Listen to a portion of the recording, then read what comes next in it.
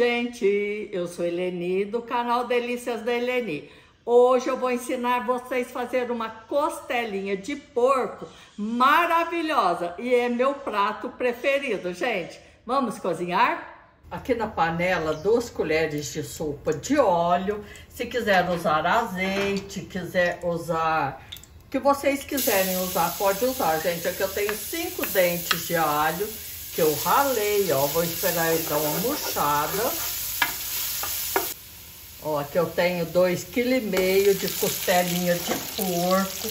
Eu quero que vocês comentem aí se, se vocês gostam de carne suína. Gente, aqui em casa a gente adora, ó. Olha que maravilha que tá essa. Então, vou colocar ela toda aqui na panela e vou misturar para o alho não queimar.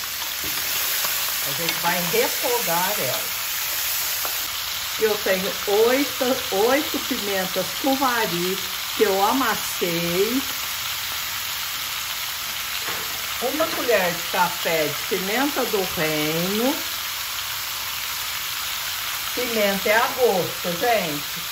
E aqui, ó, eu tenho o sal, que é mais ou menos uma colher de sopa rasa, porque a costelinha vai é, diminuir muito. Inclusive, gente, vou tirar um pouquinho, ó.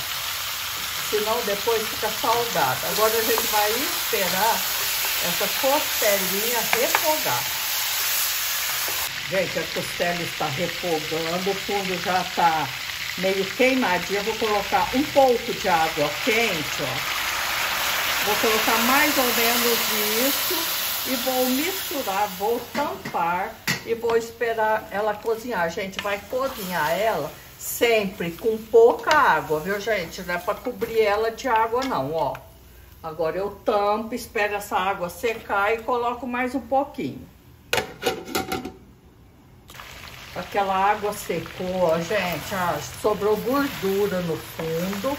Essa costelinha minha é semi-caipira, gente, é um porco é, que é tratado, um porco branco que é tratado com milho, sabe? Não é aquele porco só de ração. Olha lá, deixei dourar. E agora vou colocar mais um pouquinho de água quente. Vou tampar e vou esperar cozinhar, gente.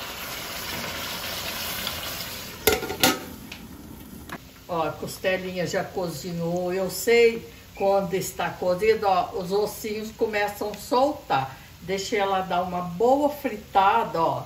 Agora desliguei o fogo e está pronta. Gente, vamos almoçar? Olha que delícia meu almoço de hoje.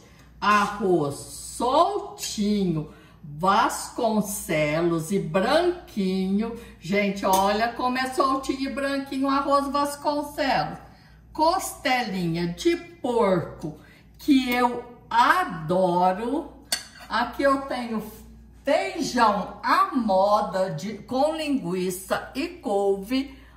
Gente, mas esse feijão ficou muito saboroso. Olha que delícia. Aqui eu tenho bombom de uva duplo com cobertura de Kit Kat. E aqui eu tenho uma baba de dinossauro, gente. A salada tá lá, mas já que tem sobremesa, eu não vou querer.